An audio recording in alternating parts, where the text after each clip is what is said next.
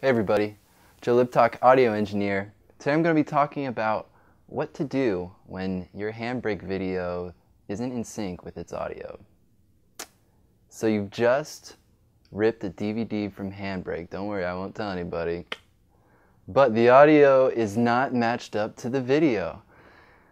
What can be the problem here? Well, usually when this does happen, the problem usually lies in the frame rate of the video versus the sample rate of the audio and how it was encoded when it was ripped from the DVD.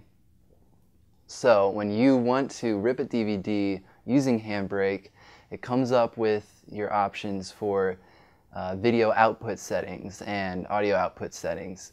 Here you can tweak your settings to come up with a compatible frame rate and sample rate so that your audio and video are intact the whole time.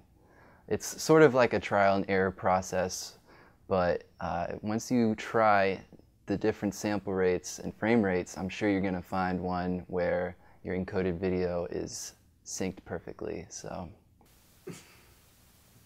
me personally, I like to encode my videos using 24 frames per second and a 48K sample rate for my audio, but that's just me to guarantee the best results, try to stick to the most original settings as possible because then you don't have to do as much encoding and chances are that you won't run into an issue where your video and audio aren't synced up then.